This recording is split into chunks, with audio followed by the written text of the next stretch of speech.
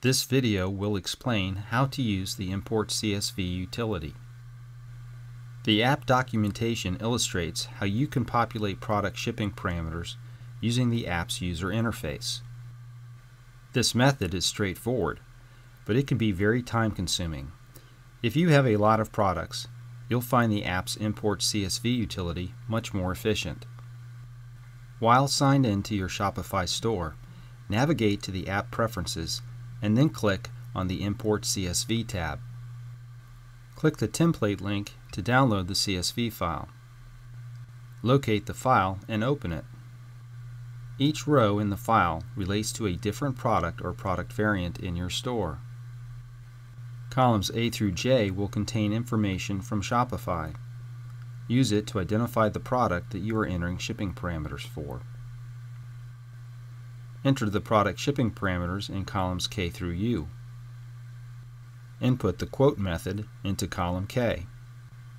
Enter S if you want the Small Package Quotes app to provide rate estimates for the product. Enter L if you want the LTL Freight Quotes app to provide rate estimates for the product. Leave it blank if you want the app to ignore it.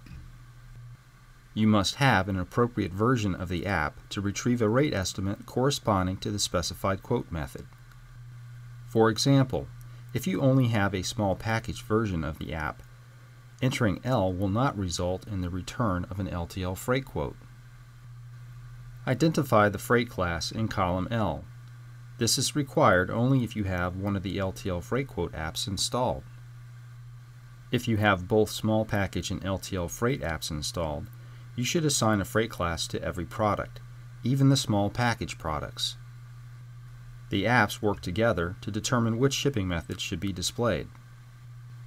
If an LTL rate estimate is returned, its accuracy can be adversely affected if a freight class isn't identified for the small package products in the cart.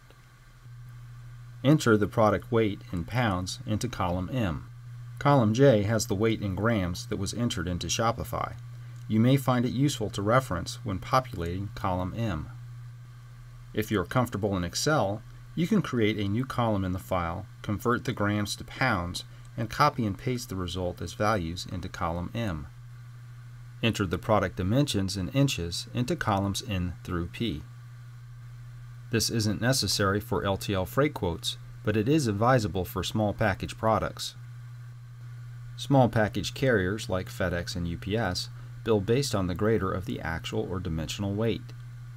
Entering dimensions improves the accuracy of the returned rates.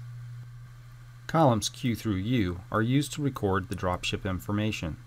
Leave this blank unless you dropship products. When blank, products will be quoted as shipping from the warehouse nearest to the shopper. As a final step, select and delete the rows of the products you don't want to update. Once you have the file the way you want it, Save it formatted as a comma-separated value or CSV file. Return to the app's Import CSV tab. Check the box to indicate that the first row of the file contains column headers and then click the Choose File button. Choose the CSV file and continue. In Step 2, use the drop-down fields on the right to identify the column header in your file that corresponds to the parameter shown on the left. If you didn't edit the headers in the CSV file you downloaded, they will be identical. Click Next at the bottom of the page. The import process will execute. At the conclusion, you will see the product IDs of the products that were successfully imported into the application.